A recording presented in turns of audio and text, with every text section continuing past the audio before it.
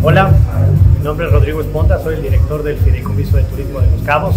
y nos da mucho gusto estar con MDC para platicarles sobre la estrategia que ha seguido Los Cabos para poder totalmente recuperar el flujo turístico en el 2021 y además los programas de la industria de reuniones poder consolidar, ampliarlos y tener una proyección internacional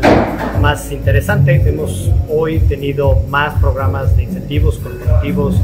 y en general de congresos y convenciones que los que teníamos en el 2019. Solamente en el mes de julio recibimos 40 leads más de los que recibimos en el mismo mes del 2019. Esto ha sido gracias a un trabajo coordinado de todos los sectores de la industria